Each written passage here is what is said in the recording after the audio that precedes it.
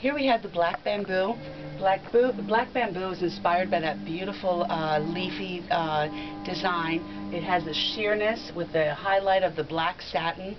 I love this worn over black, but it also looks great with color, whether you wear neutrals underneath or beautiful reds and blues. It picks up on the sheerness, and uh, it really is just a very stunning, stunning look. Uh, I also have here the long duster, which also features that beautiful fabric with the satin running through it. And this is our long duster.